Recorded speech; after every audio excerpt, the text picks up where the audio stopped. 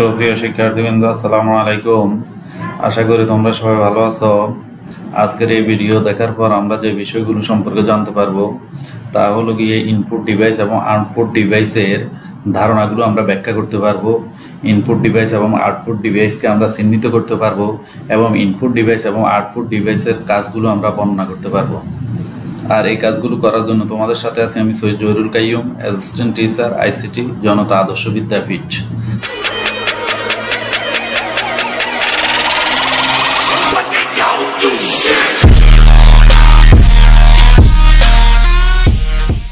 সুপ্রিয় শিক্ষার্থীবৃন্দু, গত ক্লাসের মধ্যে আমরা দেখেছিলাম যে কম্পিউটার কাজ করার পদ্ধতি। কম্পিউটার কাজ করার জন্য কম্পিউটার কাজ করার উপর ভিত্তি করে কম্পিউটারের যন্ত্রপাতিগুলোকে কয়েকটি ভাগে ভাগ করা যায়। Input devices output device storage device processing তো আমরা আজকে দেখার চেষ্টা করব যে ইনপুট ডিভাইস কাকে বলে আউটপুট ডিভাইস কাকে বলে।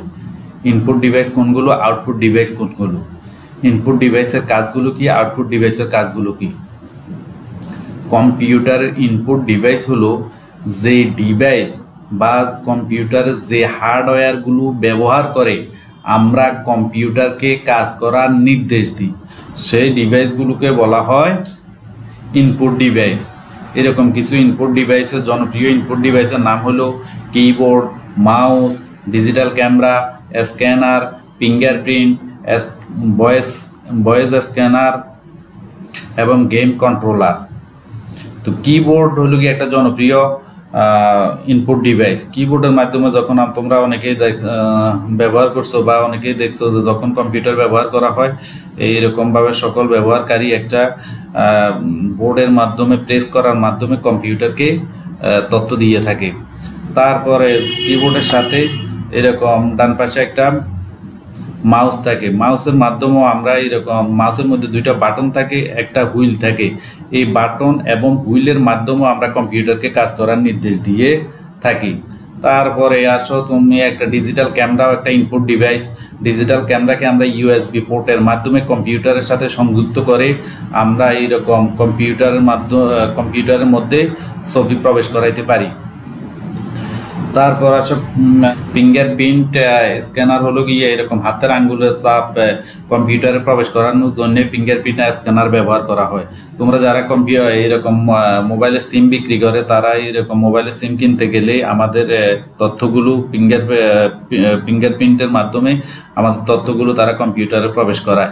হিউম্যান ভয়েস স্ক্যানার আমাদের ভয়েসকে এরকম কম্পিউটারে রেখে দেওয়ার জন্য স্ক্যানার একটা ব্যবহার করা ওই স্ক্যানারের নাম হলো ভয়েস স্ক্যানার, গেম কন্ট্রোলার। এই যে তোমরা স্ক্রিনে দেখবে এটার নাম হলো গেম কন্ট্রোলার, আর এই গেম কন্ট্রোলার দ্বারা আমরা গেমকে কন্ট্রোল করা হয়। তারপর গেমকে আর জয়স্টিক একটা ইনপুট ডিভাইস এই ডিভাইসটির মাধ্যমেও এরকম গেম খেলার কাজে জয়স্টিক ব্যবহার করা হয়। ওএমআর একটি ইনপুট ডিভাইস ওএমআর পূর্ণরূপ হলো অপটিক্যাল মার্ক রিডার আলোর প্রতিফলন বিচার করে, এটি বিভিন্ন ধরনের তথ্য বুঝতে পারে। বিশেষ করে আমাদের পরীক্ষার বহু নির্বাচনী উত্তরপত্র যাচাইয়ের ক্ষেত্রে ওএমআর ব্যবহার করা অপটিক্যাল মার্ক রিডার ব্যবহার করা হয়। দেখো এবার মাইক্রোফোনটা কি? মাইক্রোফোন তো তোমরা জানো, এরকম আমাদের শব্দ, কথা, গান, আমরা যখন কম্পিউটারে প্রবেশ করানোর দরকার হয় কম্পিউটারে রাখার দরকার হয়, তখন আমরা এইরকম ভাবে মাইক্রোফোনকে কম্পিউটারের সাথে সংযুক্ত করে কম্পিউটারে প্রবেশ করাইতে পারি।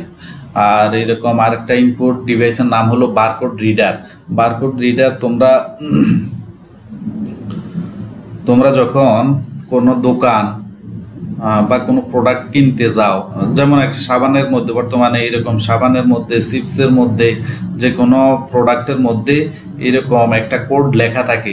যে কোডটা আমরা নিজেরা বুঝতে পারি না, কিন্তু একটা বারকোড রিডার দ্বারা ওই তথ্যগুলো কম্পিউটার মধ্যে প্রবেশ করানো যায়।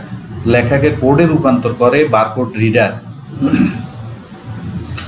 আসো এবার আমরা দেখব আউটপুট ডিভাইস কাকে বলে আউটপুট ডিভাইসগুলো কি কি?